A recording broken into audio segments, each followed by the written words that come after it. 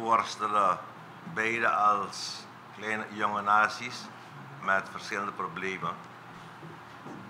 Maar wanneer we de handen in elkaar slaan, dan zijn er grote mogelijkheden. We hebben toen een pad uitgezet en het heeft weer geresulteerd in een business event welke Barbados heeft georganiseerd, waar er in oktober 2019 waren er rond 400 deelnemers waren en de item was uh, hoe, hoe doen we zaken met Suriname? En de prime minister zei het al, we zien daar mogelijkheden van zo'n 5 miljard daar liggen, waar wij, als we het op een professionele wijze doen, kunnen beide landen ervan profiteren. Wij kunnen een piece of the cake en zij gaan natuurlijk stukken goedkoper uh, hun zaken aan de man kunnen brengen. Een van de zaken waar we concreet op zijn ingegaan, en dat is natuurlijk uh, land welke we ter beschikking moesten geven. En daarom is de participatie van de minister van LVV heel erg belangrijk.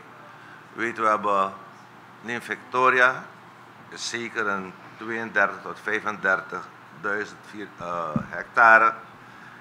En daar wordt amper iets aan gedaan. Er zijn wat kleine entrepreneurs die daar zijn, die de gelegenheid krijgen om de zaak helemaal niet te laten overwoekeren. Maar laat het duidelijk zijn, het blijft land voor LVV.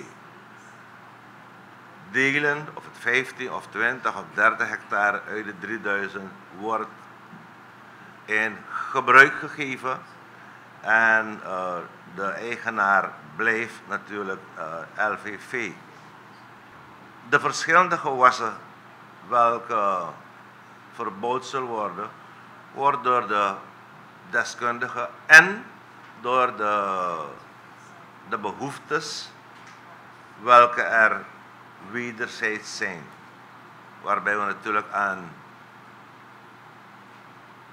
tegelijkertijd meerjarige gewassen maar ook direct de gewassen die je op heel korte termijn al kunt, uh, al kunt oosten. Belangrijk wordt natuurlijk de, de, voedselveiligheid. Belangrijk wordt dat er een behoorlijk lab wordt opgezet. En al deze zaken zijn in place waarvan we denken dat, de, dat het een groot succes zal worden.